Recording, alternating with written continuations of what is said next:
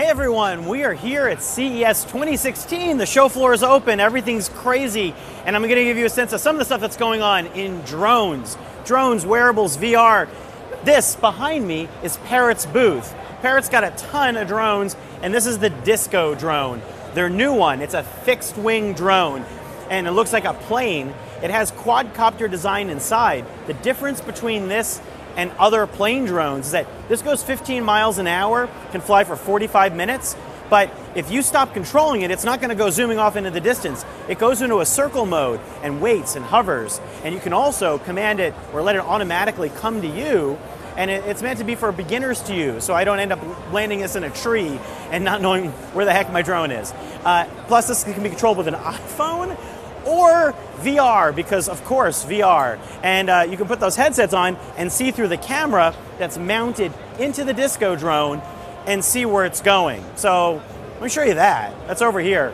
Um, they only have demos set up because I wouldn't be able to fly this drone like through CES, maybe next year.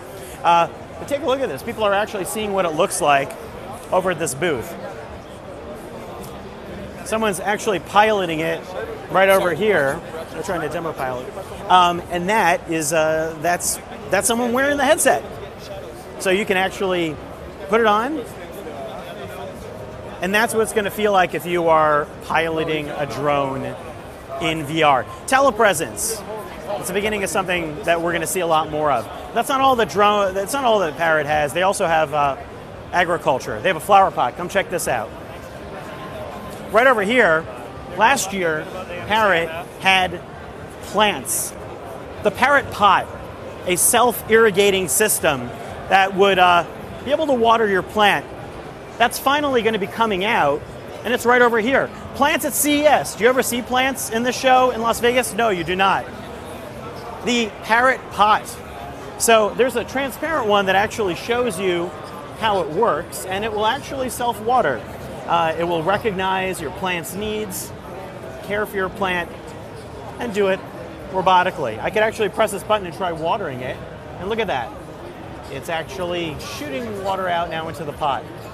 Um, it fills up over here. The actual parrot pot will look like this. It's not transparent. Um, it uh, optimizes water efficiency. It will recognize more than 8,000 plants uh, to make sure that you're not overwatering your cactus or underwatering your exotic jungle plant.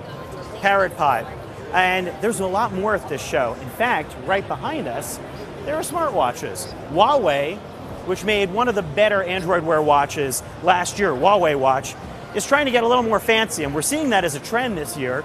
Uh, women's watches. So Huawei Watch is trying to bling these things out with a little bit more crystals and gold color.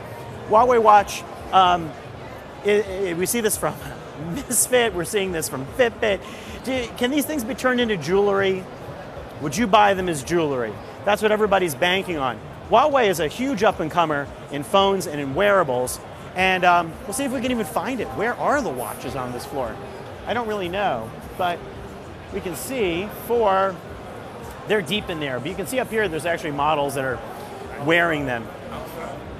Parrot is one of a bunch of drone companies that are here. Uh, Parrot also has little, little tiny drones, but you can see this thing flying back up here, Disco. Uh, that's one of the big trends at the show. VR, uh, you're seeing a lot of companies throw VR at things to see if it'll stick. You got Oculus, you got HTC Vive, you got Samsung Gear VR, Google Cardboard, and you got to be able to do fun things. The more robots and the more drones that we have that connect to VR, you might start to feel like you're going places in virtual reality. And I think that's a trend you're going to see probably over the next year, two years, three years, or that people are going to hope that you buy into. I want to try flying this in Montclair actually and see what happens. So let's go check out over here and actually see if I can use. I want to put this headset on my head. So check this out. See if we can put it on, wear one of these here. Yeah, and uh, I don't even know how you'd set up that rig and actually be able to control that over here. Parrot also has a couple of other drones. You got the Bebop 2. These are quadcopters. You may know about these. Um, take a look over here. This is the Parrot Sky Controller.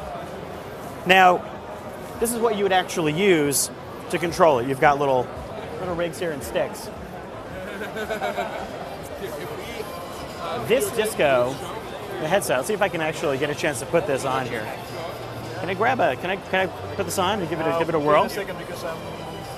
Yeah. Okay. Yeah. Yeah, that'd be fine. great. So, so for a second, and we actually put this on, and uh, check this out. So you can actually see what you're looking at, and then you put it on your head, and now you could actually move around and pilot it. This is a simulation. This is not the actual disco drone flying, but you can actually see what's happening when I'm moving around. I'm launching myself in the air.